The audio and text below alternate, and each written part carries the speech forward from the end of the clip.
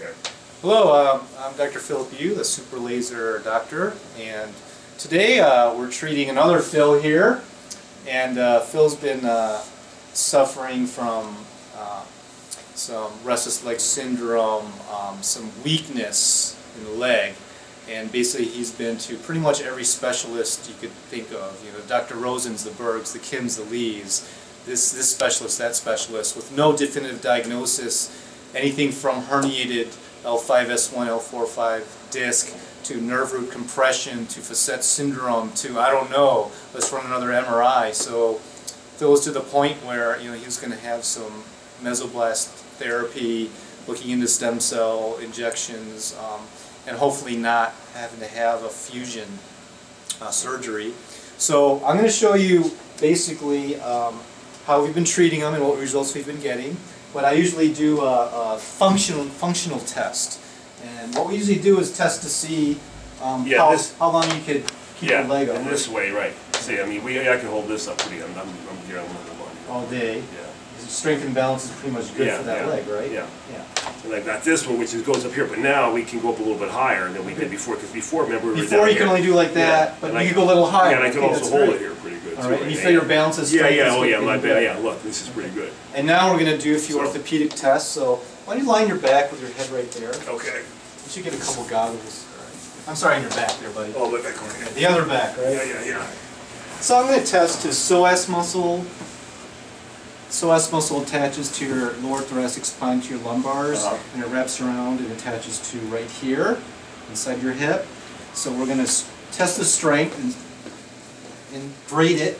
So that's a 5 out of 5. So it's full strength in the left leg, that's normal. And then here, test this one and push up. So I can take I could take them down, but it's still pretty good. It's probably about a 3 or 4 out of 5. Yeah, But before, yeah. kind of kind of think about how weak you were before and mimic Yeah, that. So it- before I could, he was Yeah, like it was, yeah. he was like a two out of five. It was real weak. And we're gonna check the L4. So push against in my hands, L5, push up, S1. Okay. So it's pretty much five out of five here. It's diminished about three out of five. Okay. And the third thing we check for is leg length difference because if he has any interference with the reflexes in the spine, it's going to cause contracture on one side. So we're going to check the leg length and the legs could be one leg could be short. Okay. Yeah. Go on your stomach. Yeah, take off these off too, take these off, yeah. Me get a scanner. Yeah. Oh, one more thing. I'm sorry. Go on your back. One more thing we Oh, found. Was uh, the Babinski reflex was off. So in a normal person, when I run a sharp object in the bottom of your foot, the reaction is it's going to react, all right? It's going to spread out and extend. But for this foot, as you can see, it's it barely reacts at all. So that reflex is inhibited. So we know there's a neurological deficit in that right leg, all right? But what we found is, remember that one day I did the test after, Yeah. and it responded Yeah, yeah, normally. And, so. and, and it has responded, I've been, I've been doing that myself a little bit, so. Okay, now you can go on your stomach and we're going to start the laser scan. Okay. Okay.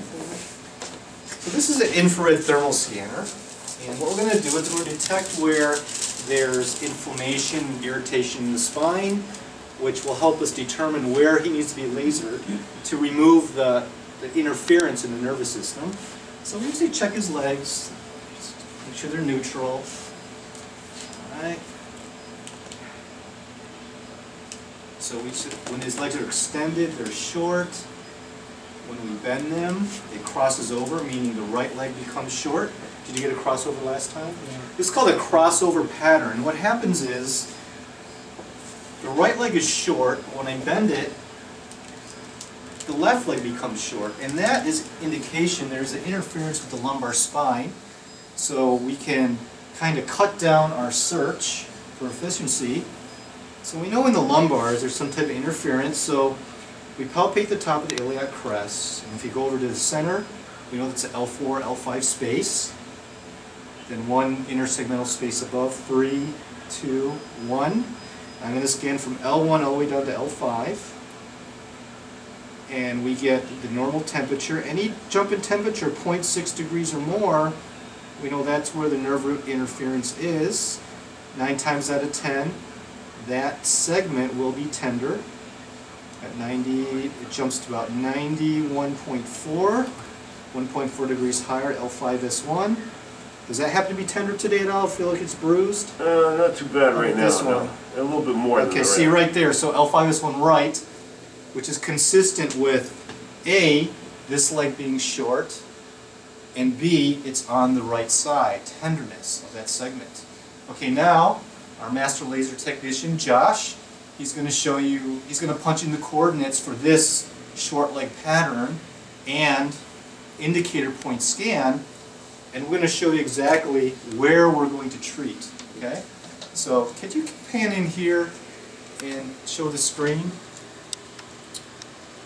This is called the SRA, spondylogenic reflex analysis, which is determining your L5 segment on the right side has a reflex pattern causing a contraction of the right side, causing the right leg to be short an extension. If you come here closer, you see that okay? Okay. All these colors here tells us where to treat exactly in the spine and for how many seconds, okay? So Josh, why don't we start with the, the right L5S1. It's red, so we're going to treat for 30 seconds, okay? And you got to know your anatomy in this, anatomy to determine correct segment. right? So we're going to treat that for 30 seconds, all right? And make sure we get our goggles on because this is a class 4 laser, okay? Why didn't you give me the cool ones? I look like Dr. Octopus from here. Dr. Octopus from Spider-Man. Come on, I want to look like Cyclops from X-Men. Here we I go. like those ones. Yeah. So Josh is going to start out with the right L5S1 point, which is the main, main indicator point, which is the reason why we're going to stimulate that for 30 seconds, right? And after that, we're going to go to the orange, right here, which is 15 seconds. All the blue points are 7 seconds. Green is 5, yellow is 3, okay? Now, you've got to understand all these re- spondylogenic reflex points have been mapped out for decades, okay? And from, from researchers of the spine, Eastern Europe.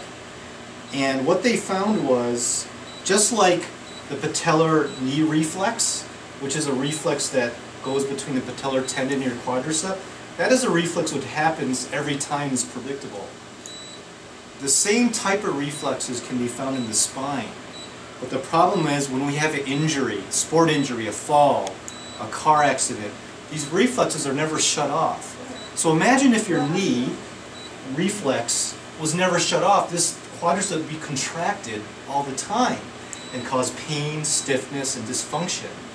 Well, that's what happens in the spine, and that's why these muscles on the right side contract, causing interference with the nerves going down the leg, causing weakness, reflex inhibition, numbness, restless leg syndrome, a whole host of symptoms that are really undiagnosable on a plain x-ray MRI because basically these reflex points are innate into your neurology. So now each point in the spine is specific to this pattern, the, L, the SRA L5 right pattern. So whatever pattern is found, you're going to have a different set of points you have to treat according to which spondylogenic reflex deficiency that you have, okay, that we have to shut off. right? So what we're going to do is Josh is going to finish up the treatment and in the next segment we're going to retest Phil and see if we can improve some of the strength and the reflexes that we've found before. Okay, thank you.